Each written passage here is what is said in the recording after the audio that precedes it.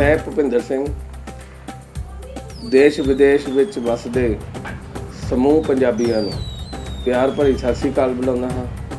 ਮੇਰੇ ਵੱਲੋਂ ਦੀਵਾਲੀ ਦੇ ਇਸ ਸ਼ੁਭ ਮੌਕੇ ਤੇ ਦੀਵਾਲੀ ਦੀਆਂ ਅਤੇ ਬੰਦੀ ਛੋੜ ਦਿਵਸ ਦੀਆਂ ਬਹੁਤ ਬਹੁਤ ਮੁਬਾਰਕਾਂ।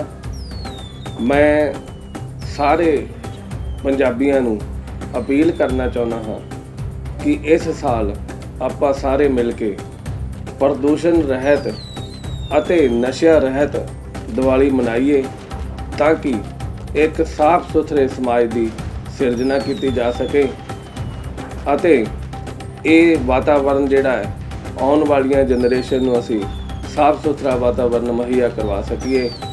ਇੱਕ ਵਾਰ ਫੇਰ ਮੇਰੇ ਵੱਲੋਂ ਸਮੂਹ ਪੰਜਾਬੀਆਂ ਨੂੰ, ਸਮੂਹ ਦੇਸ਼ ਵਾਸੀਆਂ ਨੂੰ ਦੀਵਾਲੀ ਦੀਆਂ ਤੇ ਬੰਦੀ ਛੋੜ ਦਿਵਸ ਦੀਆਂ ਬਹੁਤ ਬਹੁਤ ਮੁਬਾਰਕਾਂ।